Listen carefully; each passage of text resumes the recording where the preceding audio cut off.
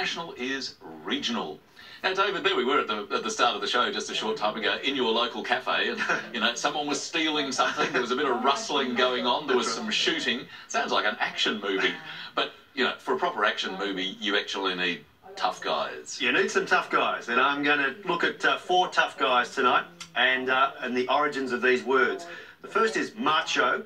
Uh, which is a Spanish word and it means male animal. So El Toro is uh, El Macho. The next is Rambo. However, don't play it on the show because it's only a capital R, but it is a word in its own right, and it comes from that ex-Vietnam vet that uh, Sly Stallone played uh, in the 80s. Comes from a, uh, a, 1972 novel called First Blood by uh, John Morrell. Now, he was a, uh, an English lecturer, and I'm sure it was probably his sort of darker, more virile alter ego.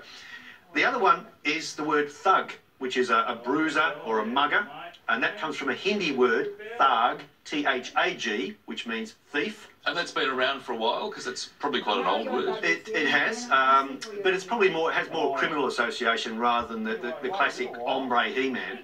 The last one is the word hoodlum. Now, this, um, I had always presumed it came from neighbourhood, as in bros in the hood or gangster. Because we talk about now, we talk about the shortened version of that, you know, the hood. The hood. Being the neighbourhood.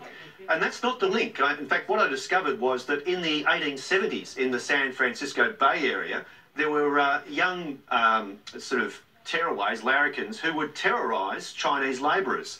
And they were branded hoodlums, which comes from a Bavarian word, huddlump. Sounds, sounds a bit like heffalump. that's, that's a huddlump. Huddlump, which is a Bavarian word for scoundrel. So there you've got uh, five tough guys, including hombre, which is Spanish for male, all together in the one posse. It's a beautiful action movie. Thank you, David. Let's have a look at our scores. Jon's on six. Melissa is on 11 as we go into our next letters game. And uh, Jon, what would you like this time? Can I have a consonant, please? Thanks, Jon. R. And another one, thank you. D. And a vowel. I. Uh, another consonant. T. Uh, a vowel. O. Uh, one more consonant. G. Uh, another vowel. I. Uh, a consonant, please. S.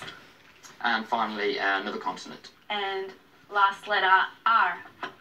And time starts now. What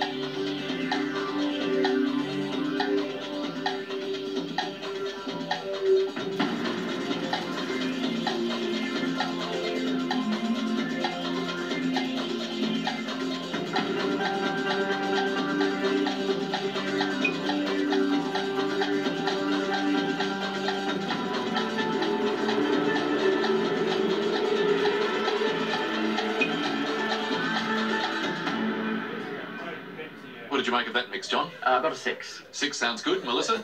I got a six as well. Let's check yours first, Melissa. Torrid. And yours, Jon? The same word, torrid. If you could verify.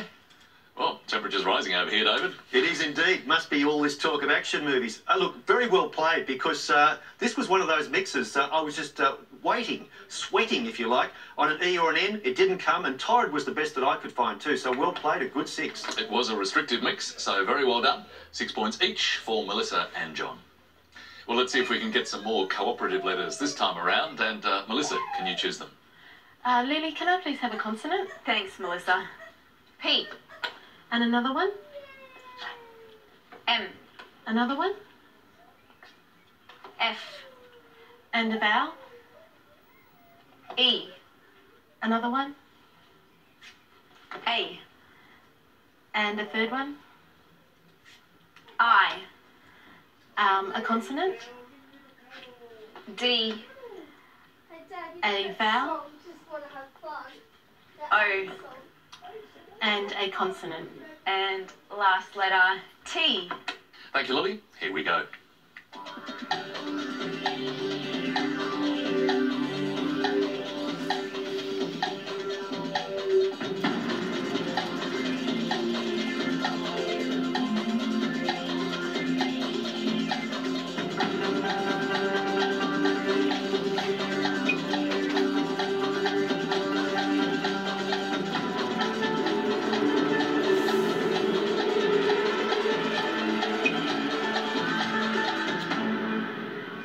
Was it a better mix? Um, I'm not sure. I got five that time. Five for you and Jon. I got six. You got six. What was the five, Melissa?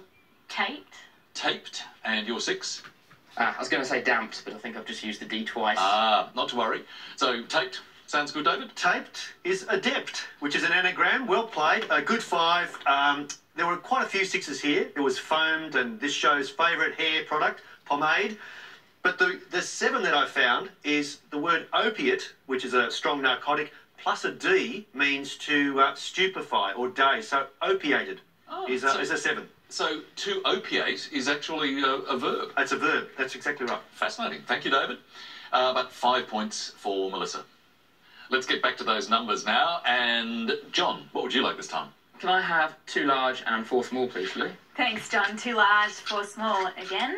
And starting with the smalls, two, nine, six, seven, and the two large, 50 and 75. The target to reach is 342. Let's chase that target.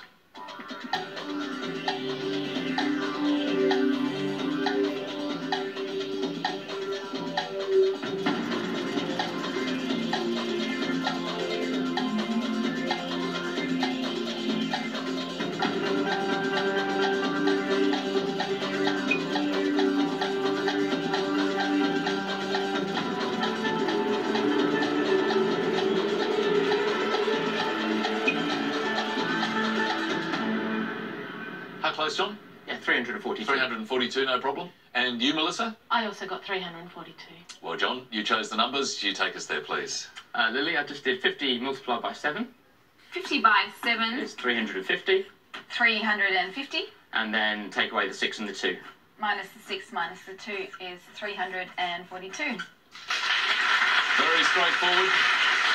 No problems at all. Melissa, uh, same approach? I actually did it a different way. A different way. Let's hear about that. Um, I added the 7 to the 50. 50 plus 7 That makes 57. And I multiplied it by 6. by 6 is 342. Well done. That was very nice as well. Even simpler. Lily, my guess is that you might have used that second method because you like a bit of tweaking, you know, the uh, the figures in brackets. I do like a li- little bit of tweaking, and this was a classic tweakage. It was a classic tweakage. Beautiful stuff. So well done to both Melissa and Jon. 10 points each in that round. So Jon's on 22. Melissa, 10 points ahead on 32 as we go to another break. Another word mix for you. This time it's far owner. And your clue to alert more than three times. See you shortly.